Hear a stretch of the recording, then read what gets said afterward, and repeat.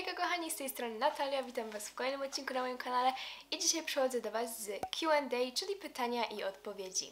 Jakiś czas temu na Instagramie dałam Wam możliwość zadawania mi pytań, było ich naprawdę sporo, ale wybrałam te najciekawsze oraz te, które najczęściej się powtarzały. Zacznijmy może od takich e, pytań, takich króciutkich i raczej takich ogólnych, więc pierwsze pytanko to kiedy masz urodzinki?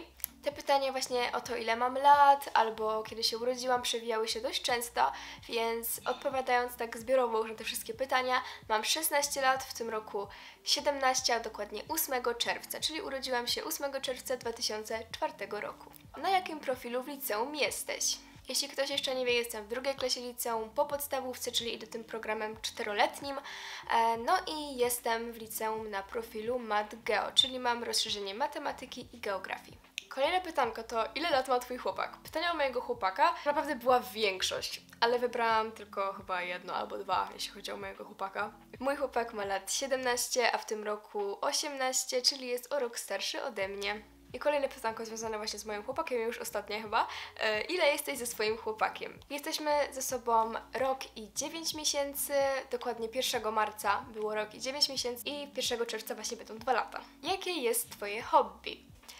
Jeśli chodzi o moje hobby, o moje pasje, to pierwsze jest na pewno taniec. Od około 5 lat trenuję taniec współczesny.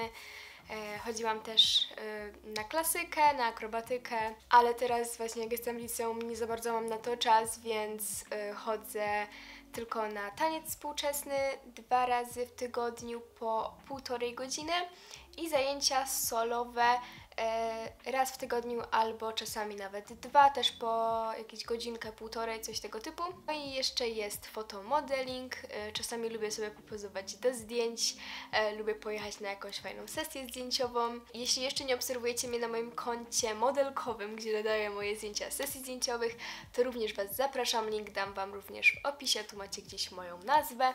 Kolejne pytanko to, czym robisz zdjęcia na Instagram?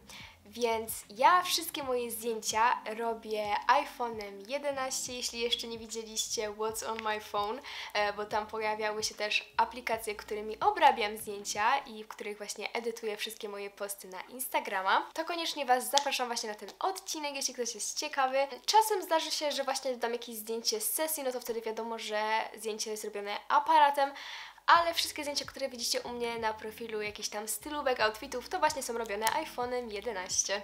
No to skąd pomysł na nagrywanie w internecie?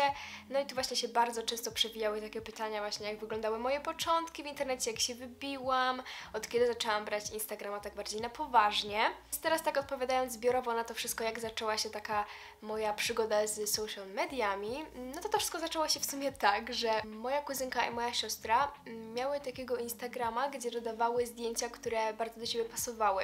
Wtedy właśnie było bardzo modne robienie na Instagramie takiego feedu, e, który bardzo do siebie pasuje, wszystko jest takie, wiecie, dopasowane kolorystycznie, e, wszystko jest takie spójne. No i pamiętam, że ja w tej szóstej klasie stwierdziłam, no ja też taki chcę mieć Instagram, no ja też, też chcę dodawać takie zdjęcia. No i pamiętam, że właśnie siostra mi pomagała, czasami mi tam jakieś zdjęcia dodawała, e, robiła mi też jakieś zdjęcia, albo jak ona jakieś na przykład nie chciała, to mi wysyłała i żebym sobie dodała na Instagrama. No i tego Instagrama miałam głównie po to, mm, żeby dodawać takie zdjęcia, które do siebie pasują, żeby mieć taki, wiecie, ładny ten feed. E, no i y, pamiętam, że miałam kiedyś taki design, tak to się nazywało, wtedy każdy mówił na to design. Miałam taki design na Instagramie, który był biało-różowy. E, I dodawałam bardzo dużo takich właśnie zdjęć, tylko w tych biało-różowych kolorkach. Bardzo dużo obserwujących mi przybyło, naprawdę spora ilość osób mnie zaobserwowała, e, lajkowała mi zdjęcia. Ja pamiętam właśnie wtedy przy tym designie miałam swoje pierwsze tysiąc lajków pod zdjęciem. Stwierdziłam, że to mi się podoba i właśnie podoba mi się to bycie takim aktywnym, no i zaczęłam się też bardziej udzielać na Insta Stories do Was. No i właśnie to już zaczęło się powoli przeistaczać w takie trochę bycie influencerem. No wtedy wiecie, miałam mniejsze konto, ale no po prostu chciałam być taką bardziej osobą publiczną. No i potem zaczęło się tak po prostu wszystko rozkręcać. No i jakoś pamiętam moją pierwszą współpracę, to miałam około chyba 5000 e, obserwujących na Instagramie i to była kampania, w ogóle płatna kampania, w której byłam zachwycona, że ja mogę zarobić na tym jakkolwiek.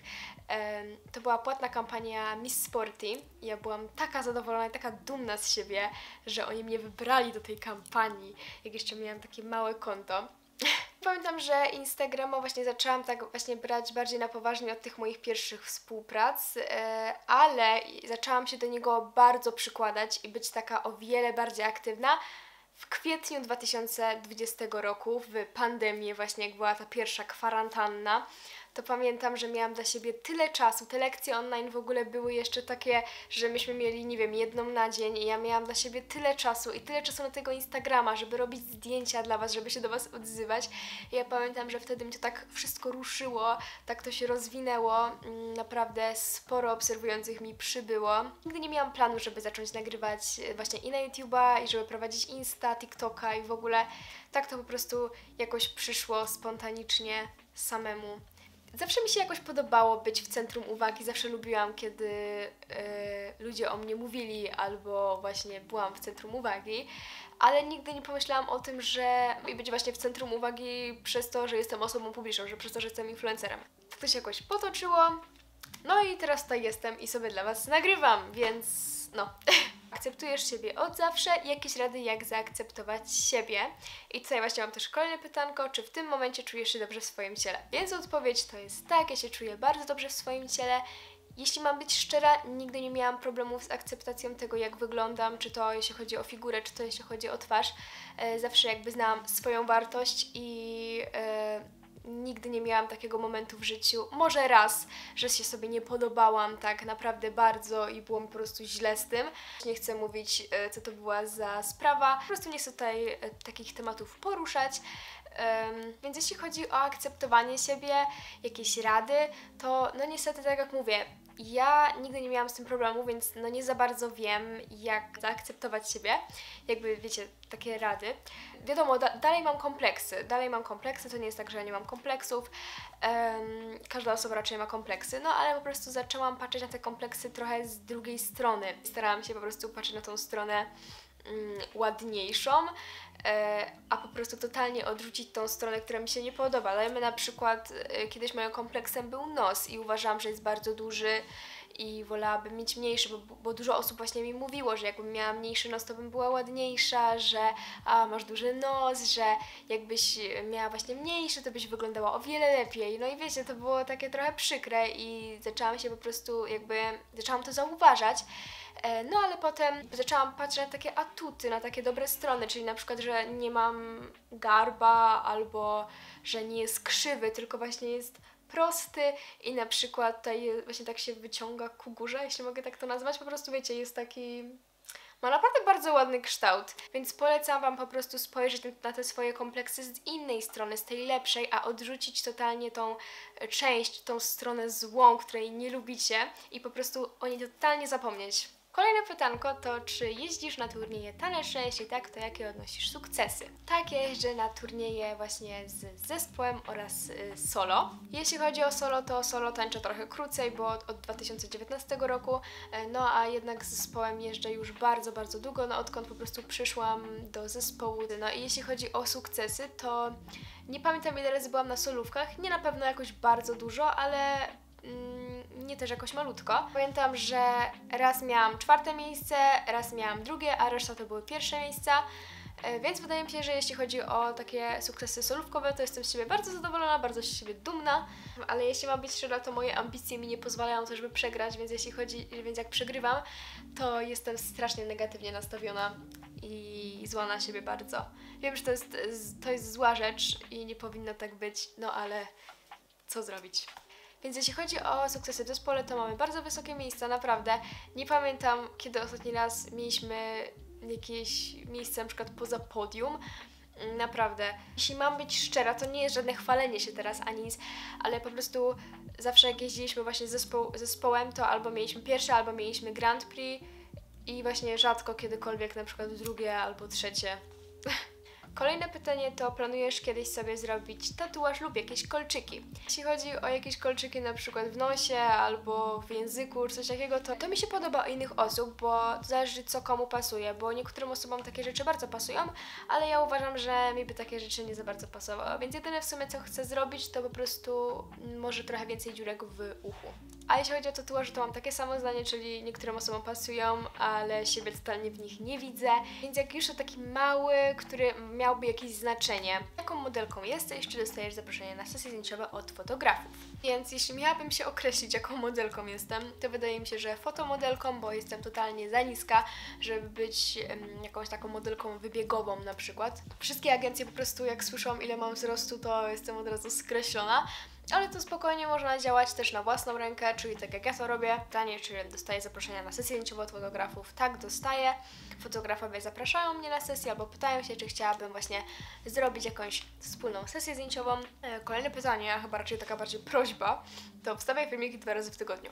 Więc dostaję pełno pytań, czy mogłabym wstawiać filmiki na przykład codziennie, albo dwa razy w tygodniu, albo trzy razy w tygodniu, nie tylko raz. Ale problem jest taki, że nie mam za bardzo czasu, nie mam za bardzo kiedy nagrywać. Ja przeważnie dla Was filmiki, takie jak teraz na przykład sobie siedzę, nagrywam albo w przerwie pomiędzy lekcjami, albo czasami nawet na lekcjach, jak nie wyrabiam, albo w weekendy. I to są tak naprawdę jedyne dni, kiedy ja mogę coś nagrać, więc pomyślcie sobie, jak mam przerwę pomiędzy lekcjami 10 minut, to naprawdę jest ciężko coś takiego nagrać. Kolejne pytanie to jakie jest moje ulubione jedzenie? Więc moje ulubione jedzenie jest makaron.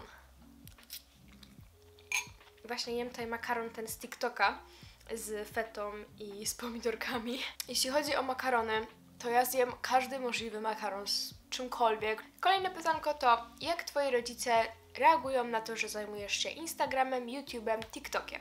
Więc moi rodzice zawsze mnie wspierają w czymkolwiek, czy jeśli chodzi o modeling, czy jeśli chodzi o tańce, czy właśnie o Instagrama, czy YouTube'a. Moja mama robi mi większość zdjęć, tak naprawdę chyba wszystkie. Czasami się zdarzy, że moja siostra mi jakieś zrobi, ale moja mama jeździ ze mną wszędzie, na jakąkolwiek miejscówkę, żeby po prostu porobić mi fotki. No a jeśli chodzi właśnie o mojego tatę, to mój tata też po prostu wszędzie mnie wozi, żeby nagrywać właśnie jakieś urywki do filmów, albo jeśli chodzi właśnie o, ogólnie o YouTube'a, to właśnie mój tata bardzo często mi pomaga z jakimiś takimi technicznymi sprawami. Reagują na to bardzo pozytywnie, cieszą się, że jakby się w tym rozwijam, że robię to, co lubię i jeszcze właśnie mam z tego korzyści, zarabiam i w ogóle, więc ja się bardzo cieszę, że właśnie mam takich wspierających rodziców. Więc to by było chyba na tyle. Nie chciałam, żeby ten filmik był e, zbyt długi, więc wybrałam tylko takich parę, wydaje mi się, najciekawszych i te, które bardzo często się powtarzały. Więc jeśli ten filmik Wam się spodobał, koniecznie wejdźcie na mojego Instagrama, bo tam o wiele częściej odpowiadam właśnie na pytanka, robię takie mini Q&A właśnie na Insta Stories. Nie zapomnij zostawić łapki w górę, subskrypcji i komentarza. I życzę Wam miłego dnia albo wieczoru, zależy kiedy oglądacie ten filmik i do zobaczenia. nha.